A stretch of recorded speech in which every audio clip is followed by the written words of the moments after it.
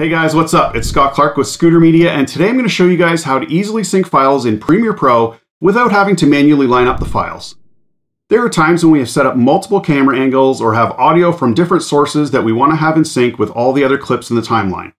In this video, I'm going to show you how to easily sync multiple camera angles on a timeline for editing. On this channel, we provide filmmaking tutorials and tips and tricks as well as doing some product reviews, so if you are new here, please consider subscribing. Let's get into it.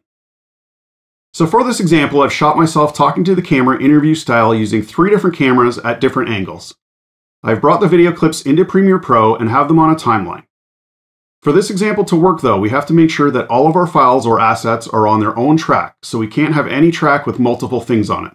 So as you can see here, I have three tracks of video and three tracks of audio, all on separate tracks. Now all we need to do is select them all, either by pressing Ctrl A on a PC or Command A on a Mac, or by dragging a square around everything until everything is selected. Once we have everything we want selected, we just right click and go to synchronize and click that.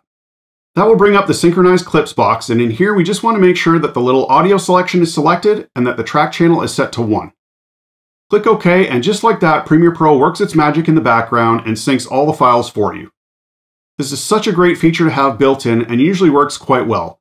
One thing that I do want to reiterate is that you do have to make sure that every asset is on its own track. If you try to use this method and synchronize is grayed out and you can't access it, there's probably something else on one of the tracks. I really hope this video helps to speed up your editing time like it did mine. If you found value in this video, please give it a thumbs up, and if you haven't already, please consider subscribing as it really does make a difference. Thanks for watching today's video, I appreciate it, and I'll see you in the next one.